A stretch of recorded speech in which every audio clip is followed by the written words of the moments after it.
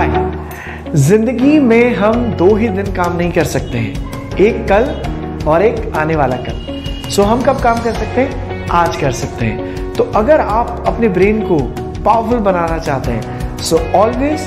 B in present moment और काम भी कब करना है प्रेजेंट मोमेंट में करना है और अगर आप और बहुत सारी टेक्निक सीखना चाहते हैं जिससे आपका ब्रेन पावरफुल हो जाए तो आपको क्या करना है हमारा चैनल सब्सक्राइब करना है happy learning Thank you so much.